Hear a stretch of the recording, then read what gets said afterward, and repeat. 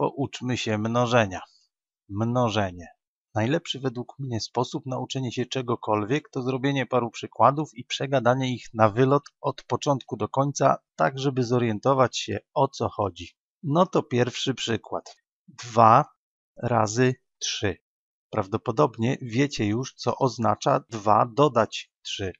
2 dodać 3 równa się 5.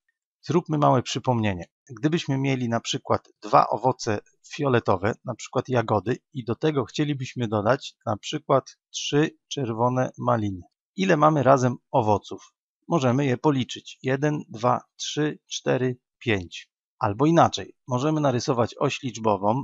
Całkiem możliwe, że nie potrzebujecie tej powtórki z dodawania, ale powtórka przypominajka nigdy nie boli. Nic nam to nie zaszkodzi wzmocnić to, co już wiemy. Zaznaczmy sobie na osi 0 1, 2, 3, 4, 5. Jeżeli usiądziemy na dwójce, czyli o dwie kreski w prawo od zera, generalnie dodatniość na osi jest w prawo, czyli jeżeli chcemy zwiększyć liczbę, to idziemy po osi w prawo.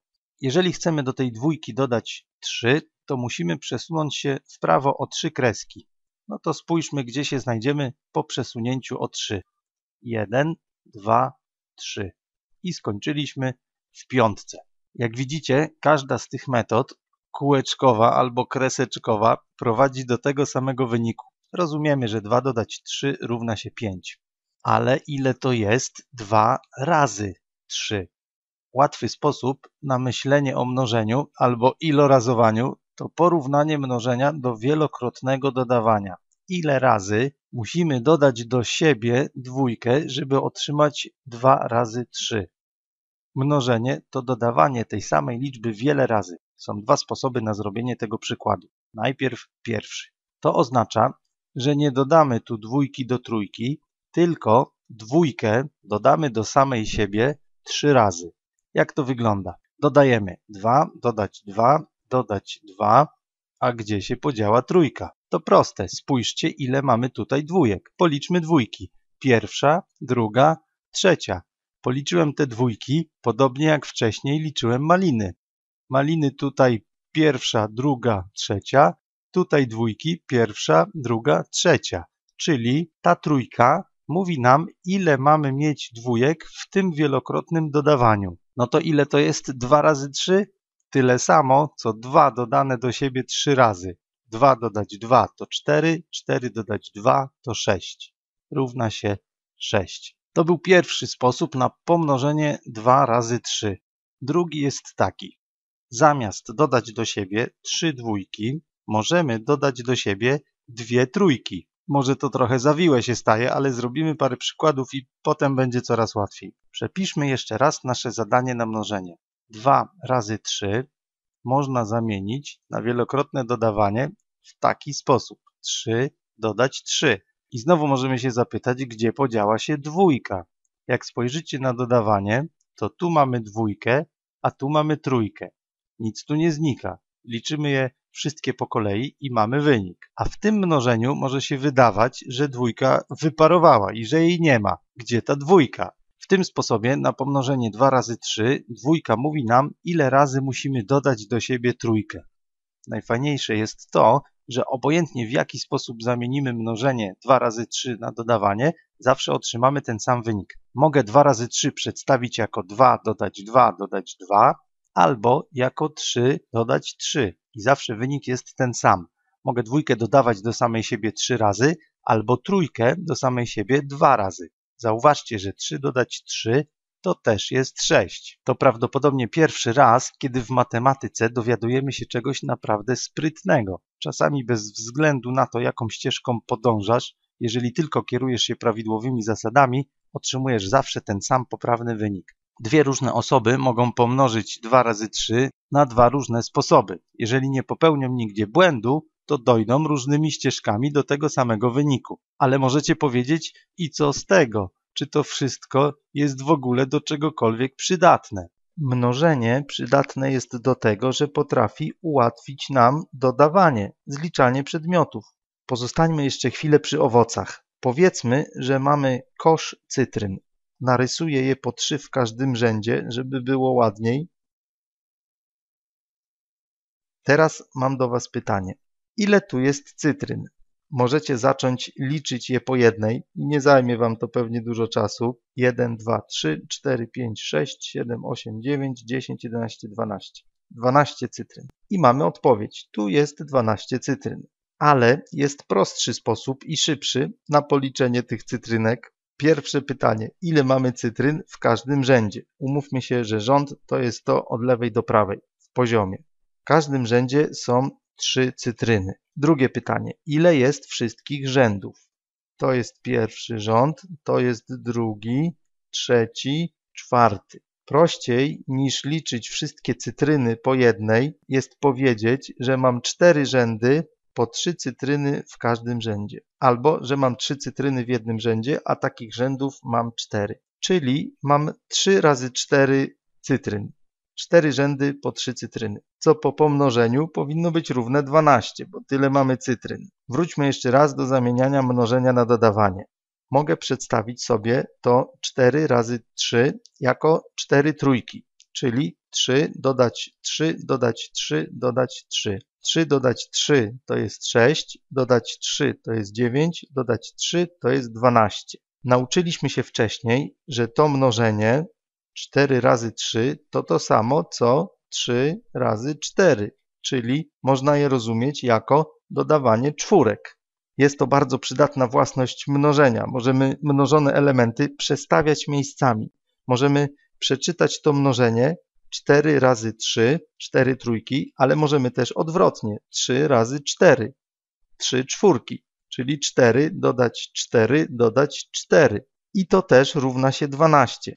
To są 4 trójki, a to są 3 czwórki. Tutaj 4 razy 3, a tutaj 3 razy 4 równa się 12. Wszystkie te działania dają w wyniku 12. Obojętnie z której strony podejdziemy do tego zadania, zawsze wynikiem będzie 12. Możecie powiedzieć, że fajnie to wszystko wygląda i że dobrze jest znać takie sztuczki matematyczne, ale mnie zajmuje mniej czasu zwyczajne policzenie tych kółeczek od 1 do 12. Na pewno tak jest, kiedy mnożycie coś po raz pierwszy w życiu, ale potem im więcej nabieracie wprawy, tym szybciej mnożycie w porównaniu do zliczania pojedynczo wszystkich elementów. A poza tym będą takie mnożenia i zadania, w których cytryn w jednym rzędzie będzie na przykład 100, a rzędów będzie na przykład 1000. Wtedy na pewno będziecie woleli mnożyć. Wolałbym, żebyście nie spędzali całych dni na zliczaniu tysięcy elementów po jednej sztuce. Dzisiaj nie będziemy się uczyli jak pomnożyć 100 razy 1000, ale mnożenie jest o wiele przydatniejsze w takich przypadkach niż dodawanie. Teraz pokażę Wam sztuczkę z mnożeniem, na którą nabierała mnie moja siostra, kiedy chodziłem do przedszkola, a ona była już w trzeciej klasie i uwielbiała pokazywać mi, jaka jest mądra i bystra w porównaniu ze mną. Dawała mi takie zadania. Mówiła tak. Sal, ile to jest? Trzy razy jeden a ja byłem mały i jeszcze niewiele wiedziałem, chociaż potrafiłem już dodawać. I myślałem sobie wtedy, że wygląda to jak 3 dodać 1. I wiedziałem, że 3 dodać 1 równa się 4. Więc mówiłem, że 3 razy 1 to też jest 4. A ona na to, nie, ty głupiku! I myślałem, że to bez sensu. Jak 3 razy coś tam może być ciągle jeszcze 3? Pomyślmy teraz, co to może oznaczać. 3 razy 1 możemy rozpatrywać jako 3 jedynki, a co to są 3 jedynki? 3 jedynki to jedna jedynka, dodać druga jedynka i dodać trzecia jedynka. A to jest razem równe 3. Albo możemy na 3 razy 1 spojrzeć jako 3 jeden raz. Ile to jest? jedno trzy to takie proste, że aż głupie. To po prostu trzy, jedno trzy i tyle. Możemy to zapisać jako jedna trójka. Na tym przykładzie widać ogólną zależność. Jakakolwiek liczba pomnożona razy 1 albo 1 razy dowolna liczba, to ciągle jest ta dowolna liczba. Czyli 3 razy 1 równa się 3. 1 razy 3 jest 3. Tak samo mogę powiedzieć i napisać, że 100 razy 1 równa się 100.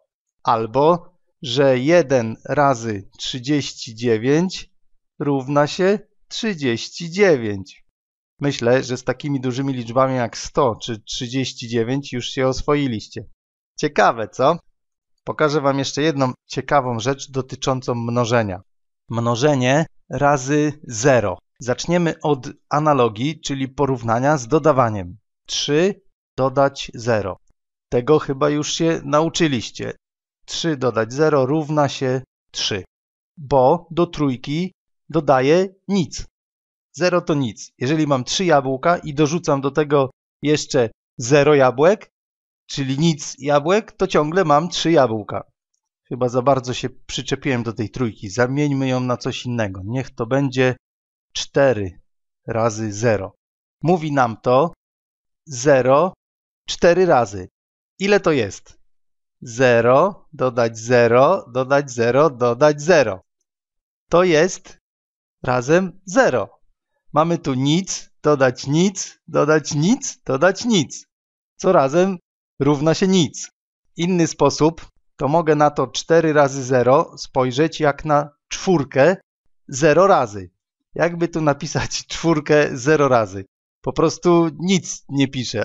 O, tu jest ta czwórka 0 razy. Jak napiszę jedną czwórkę, to już nie będę miał zera czwórek. Nic czwórek. Tutaj jest nic czwórek. Napiszmy to tak. Tu jest 4 zera, a tutaj 0 czwórek.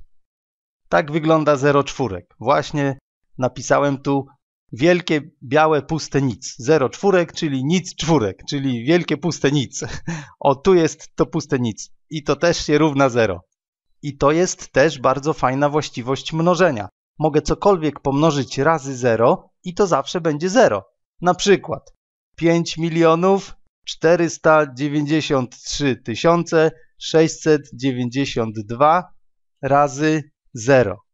Ile to się równa? To się równa 0. A tak przy okazji, ile to jest? Ta liczba razy 1. To ta sama liczba. Ile to jest 0 razy 17? I znowu to samo, równa się 0. Wystarczy tego gadania, widzimy się w nas albo nie. Jeszcze na koniec bonus gratis niespodzianka. Nauczyliśmy się w tym filmie dwóch ciekawych spraw związanych z mnożeniem. Po pierwsze, że jeżeli pomnożymy cokolwiek razy 1, to otrzymamy to samo cokolwiek. Po drugie, że jeżeli pomnożymy jakiekolwiek coś razy 0, to otrzymamy 0. A co będzie, jeżeli pomnożymy 1 razy 0? Spójrzcie na to. To cokolwiek może być zerem, a to jakiekolwiek coś może być jedynką. Otrzymujemy z tych dwóch różnych reguł identyczne równania. Którąkolwiek z tych reguł zastosujemy, zawsze otrzymamy ten sam wynik. Tak to już jest w matematyce, że bez względu na to, którą drogą podążacie, zawsze dotrzecie do wyniku. I nie ma dróg lepszych albo gorszych. Każda jest ok. I tak to już w matematyce jest, że reguły współpracują ze sobą. Jak ludzie w dobrze zgranym zespole. Matematyka jest jednym dużym zgranym zespołem współpracujących ze sobą reguł. Im dłużej będziecie się matematyce przyglądać, tym jaśniej będziecie widzieć, jak wszystko ze sobą cudownie współgra. Do zobaczenia.